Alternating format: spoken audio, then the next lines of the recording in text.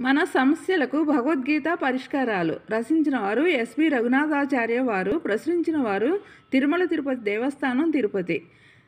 నా ఈ ప్రయత్నం ఎవరికైనా ఉపయోగపడగలిగితే రచించిన వారికి ప్రచురించిన వారికి సంతృప్తిని కలిగించినట్లే. రెండవ సమస్య. జీవితంలో జరిగే ప్రతి సంఘటనకు నేను మానసికంగా ఎంతో బాధపడతాను. వారు నాకు ఉపకారులైన అపకారులైన వారిని గురించి నాకెందుకో విపరీతమైన ఆవేదన.